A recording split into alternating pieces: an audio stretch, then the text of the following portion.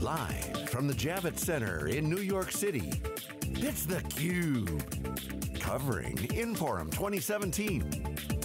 Brought to you by Infor.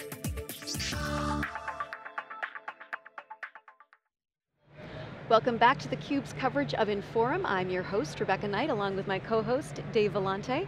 We are joined by Charles Phillips, the, the, the, CEO of Infor. Thanks so much for joining us. No, great to be here. Thank you guys for coming. So you're fresh off the keynote, uh, a big deal, thousands of people here the, at the Javits Center.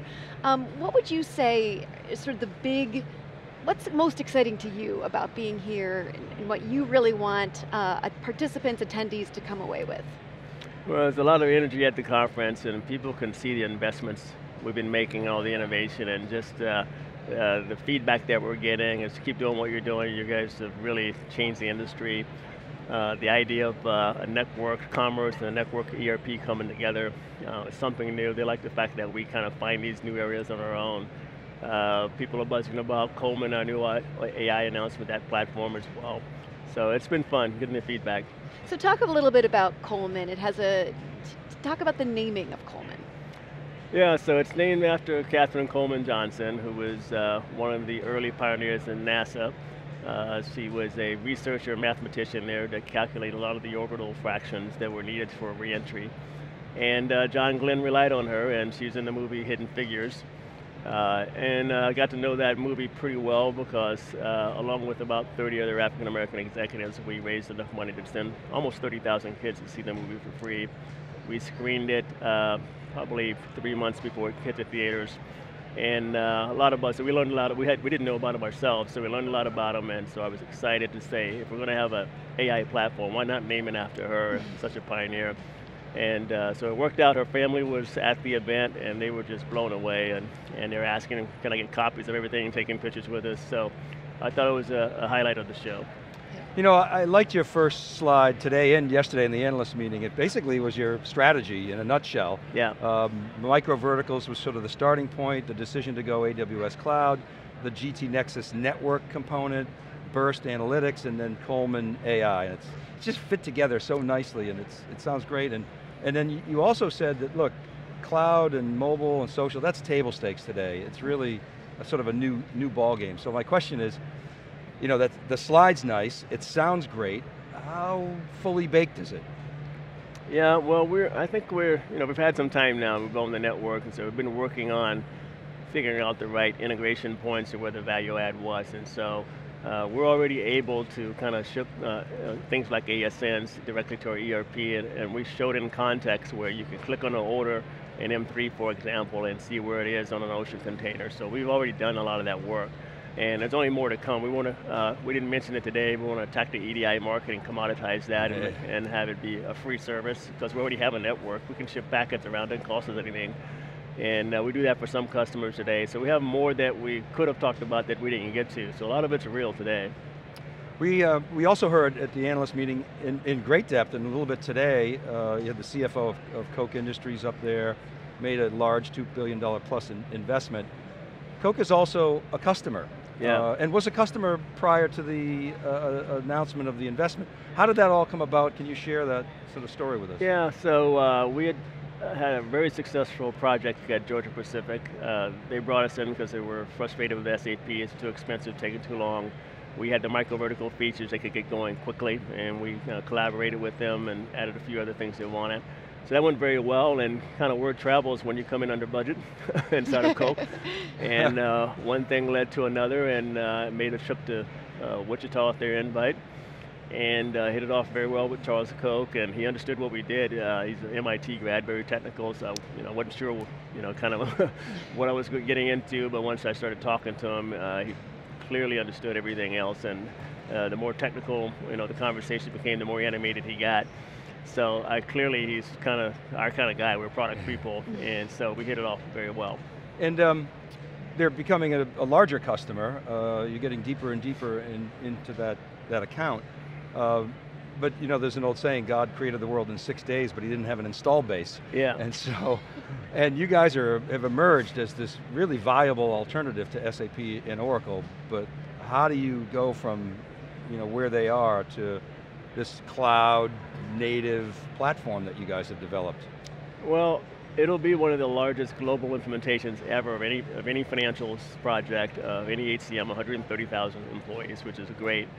So a project of that scale, that happens usually top down when they're invested and, and ready to go. So they have four members on our board, uh, and it's including the CFO, including the, the president of Georgia Pacific, and so many other important executives. And so the guys who run the divisions, many of them are on our board and learning this stuff and excited. So they're actually pushing us right now, which we think is great. We have a weekly cadence call with them with all these senior execs all the projects, let's review where we are, make sure you're getting what you need, are people responding? I mean, they are driving. These people know how to execute. That's, how that's why they're $115 billion. And so uh, it's great for us, great for them, they're pushing us, and uh, so I'm not too worried about that given what I've seen so far. When you think about the long-term strategy of Infor, you're now one of the most well-funded unicorns uh, along with Uber and Airbnb where do you go? I mean, what do you sort of see as sort of the long-term play here? Yeah, post-world domination, then after that. okay, all right, okay. Uh, we have other industries we want to get into. There's a few acquisitions we probably will consider. We Want to expand our network. Uh, these networks grow up like by vertical and by industry. There's a few other verticals we want to get into. Uh, but the list of things that we could build and what people are asking us to build is almost endless, you know, and they like the way we do these kind of digital transformation projects. There's lots of those out there. And so we just want to make sure we have the ecosystem where we can implement. So that's why it's so important to get Accenture and uh, Capgemini and Grant Thornton and Deloitte, and uh, they're all taking training as we speak, building out their practices, which we didn't have a year ago. So that was our kind of constraint to scaling. We just couldn't take on so many projects, you know, but now we can. I wonder if you could talk a little bit about the structure of the industry, the software industry specifically. I mean, you're fairly famous for having sort of predicted consolidation and then orchestrating that consolidation. Marc Andreessen's you know, famous for saying software's eating the world. I think Benioff said there's going to be more non-tech companies that are SaaS companies than tech companies. Uh, uh, do you expect we'll just see a sort of a deconsolidation of, of, of software, or maybe a bifurcation where maybe some of the enterprise guys acquire but there's all these, burgeoning, blooming flowers of software companies emerging. What's your point of view on the software industry and its structure?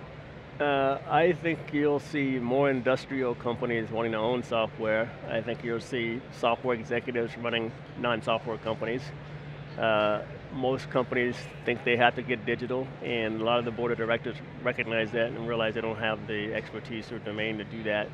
And uh, so a lot of software executives get asked to run non-tech companies for that reason because you know, you can learn retail faster than they can learn how to program. So, so uh, and, and, if you've been building applications for those verticals, you actually kind of know the, the, vertical pretty well. So I think you'll see some integration of some of these domains over time where people have to become more technology fluent. The way to do that is bring in tech people. And the other thing I wanted to ask you, sort of a follow-up on that, I mean, you see Amazon buys a Whole Foods and is getting into grocery, they're a content company, Apple's into financial services, and we know it's because of digital, allows you to yeah. sort of jump industry value chains. But for decades, people just stay within their own little value chain silo. Uh, do you see, expect that to change as well, where executives are able to traverse industries? I think so. Technology is, a, is causing that, and it's enough disruption and fear where people are willing to consider something completely different than they were before. And uh, that helps us because usually we need someone to either take an action because they see an opportunity or because they're worried about you know, getting disrupted, one or the other. That's how these big projects get started. And so that's part of the reason why our growth is so good right now. Hmm. And is that what's driving it? Is it the fear of being left behind? It was probably uh, equal amount of both. They see opportunity, and I should be doing something, but I don't know what, so we have to tell them the what. Or I'm worried about what everybody else is doing, I don't want to get Ubered out and we tell them how not to, to be in that position. And so uh, we're getting an audience at senior levels that we couldn't before just because it's top of mind for everybody. How about, let's talk about M&A a little bit and what you look for in, a, in, a, in an acquisition candidate. Um, uh, uh, you, you, have a platform that's you know very probably dogmatic about it running on that platform, yeah. but talk a little bit more about what you look for. Uh, we usually want next generation thinking and a technical platform that we don't have to completely rewrite because uh, we don't want to kind of pollute our architecture. If it's a modern architecture where we can graft it onto our Infor OS as we call it, that's fine.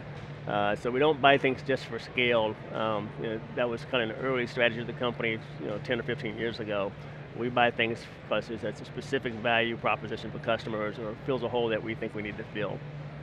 Okay. I would rather buy something that is small, maybe not much traction, not much revenue, but a great product, because we have a huge distribution channel, we can grow it pretty quickly. Uh, we can fix all those other problems if, if, the product is there. Well, the Birst acquisition I think is very interesting because yeah. you saw the ascendancy, we were talking earlier, Rebecca, about, saw the ascendancy of Tableau and Christian Chabot, very articulate, would talk about the slow BI companies and really depositioning them.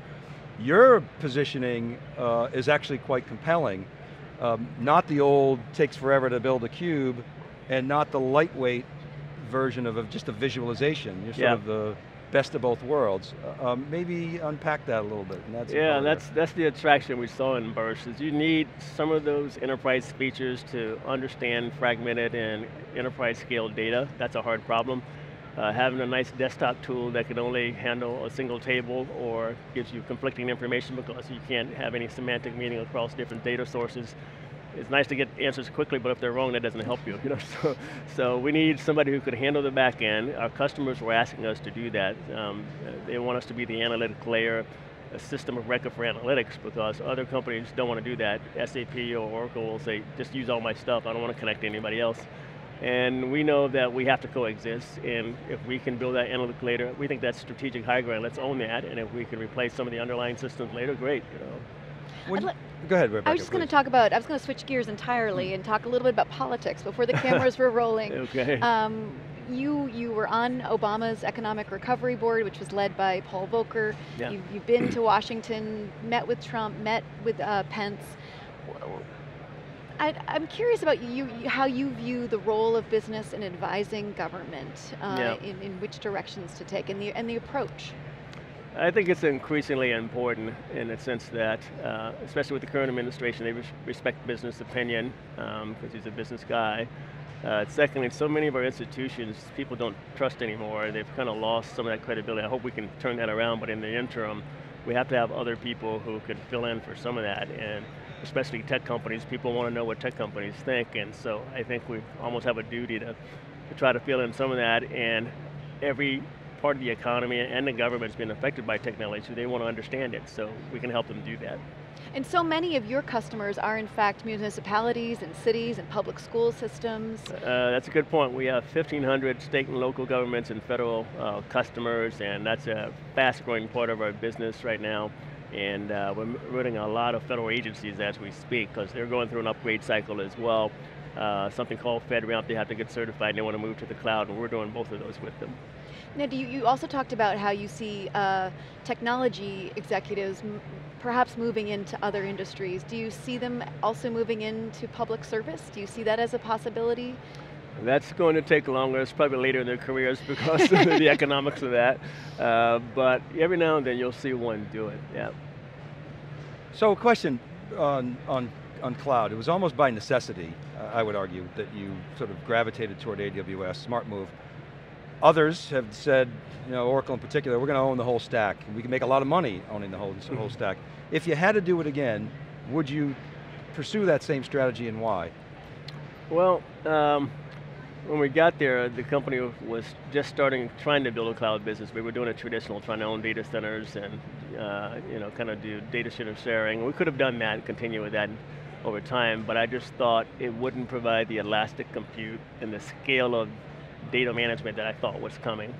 Uh, we looked at all the platforms that were out there at the time. We met with Microsoft, IBM, you name it, and at the time, uh, AWS was just so much further along in terms of services available, capabilities, entrepreneurial spirit, scale, it, just, it wasn't even close, you know, in our minds anyway. And so uh, they were great partners to work with, and for us, it's been the right decision, and they've, they've helped us a lot. Yeah, and, and showing, seeing your arc is maybe a question, but you're pretty technical, maybe a better question for Duncan or mm -hmm. Soma, but I'll ask you because you're more technical than I am. When you look at the your architecture slides, mm -hmm. there's a lot of Amazon in there. There's, there it looks is, like yeah. there's DynamoDB, looks like some Kinesis, yeah. Uh, there's S3, there's all kinds of flywheel-oriented tech. Yep. Um, I wonder if you could sort of elaborate on that in terms of the impact that that has, not only on you, but ultimately on your customers. Yeah, no, that was by design, by my direction. I wanted to take advantage of every single service we could on AWS, because every time we do that, that's less work for my developers. I don't want them worried about infrastructure, just write the application, be an industry expert. So anytime they come up with a new service, uh, you name it, whether it's VPN or archiving, backup, uh, uh, we're one of the early customers of Redshift, we take advantage of it because that's, that's cheaper for us to do it that way and we get the scale that we need and we get it in multiple countries. So anything other strategy than that, we have to replicate things in multiple places and we have to figure out how to make it work on AWS. And I know we're limited on time, but if, if software's eating the world, software's going to eat the edge. Yeah. So talk about your edge strategy. Uh, well, it depends on what you mean by edge strategy. I think the software eating the world is true. Um, um maybe it's helping the world, as it might be a better way to put it, but almost every product that we see it's inside of now, And so that's actually good for us, being the largest vendor for uh, asset management. Every IoT company is coming to us because all that data is meaningless unless you can generate a work order or a requisition and get something fixed, schedule someone to come, that's what we do. So all of that data needs to end up in a repository that can affect a business process, and we own that business process. You know? Well, something that we've said in theCUBE from the early days of so-called big data is the practitioners of big data are the guys who are going to really do well. It's not yeah. necessarily the guys selling big data infrastructure, and, and that's proving true. I mean, guys never talked ever, I don't think, about big data, but you're a data company now, yeah, first. Yeah, and we collected a lot more data than we ever, we ever thought we would, and so now we got to figure out kind of how to how use to parse that. it, how to use it, exactly. so which is why we added the next two layers of that stack, right? So that'll be next year's summit. Yeah, next exactly. well, Charles Phillips, thanks so much for joining us. It was a pleasure. Great, thanks guys, appreciate it. See you, thank you. I'm Rebecca Knight for Dave Vellante. We will have more from theCUBE's coverage of Inforum after this.